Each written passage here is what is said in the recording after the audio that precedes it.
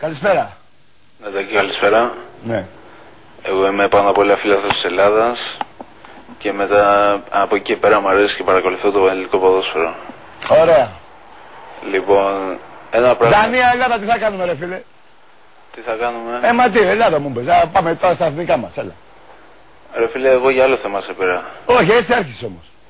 Ναι, σου είπα ότι είμαι φίλαθος της Ελλάδας και με το... Βρε αγόρι μου είσαι Έλληνας, τι μου λες, είσαι Έλληνας, είσαι Έλληνας, Ναι, εντάξει. φίλαθος της Εθνικής. Ωραία, είμαι Έλληνας όπως είσαι και εσύ και είμαστε όλοι. Ωραία, ωραία, τι, ωραία, εγώ μιλάω για Ολυμπιακό τώρα, ρε, πες μου. Ναι, μιλάς για Ολυμπιακό, αλλά μια συμβουλή θα ήθελα να σου δώσω. Πες μου. Δεν θα έπρεπε, πιστεύω, να είσαι τόσο οριστικός γιατί μία μέρα θα Πού σου είναι πω το το οριστικός, ξύλο. όταν οι άλλοι μου λένε τα χειρότερα, για πες μου.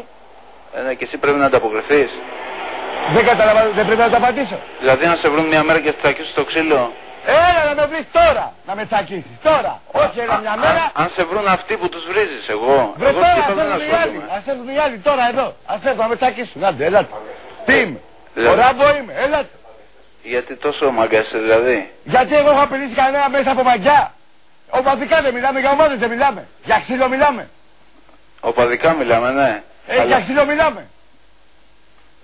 εκεί, που, ναι, εκεί που την πας όμως στη δουλειά, θα τη φας καμία μέρα και θα Καλά, κλείσεις προς, και προς, εκπομπή. το παρόν, προς το παρόν φυλάξω εσύ από το δανό που θα πας στην Δανία και βλέπουμε. Άντε γεια.